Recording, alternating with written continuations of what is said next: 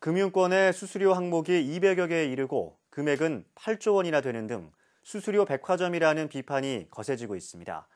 더구나 수수료에 대한 부과 기준이나 금액 구분도 제각각으로 주먹구구식이어서 서민들의 수수료 부담이 커지고 있습니다. 리병수 기자가 보도합니다.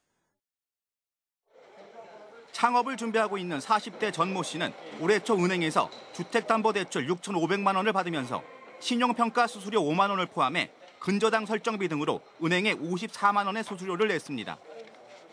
또 잔금을 치르기 위해 A은행에서 발행한 3천만 원짜리 수표를 가게 주인의 B은행 계좌로 송금하면서 수수료 3천 원도 냈습니다.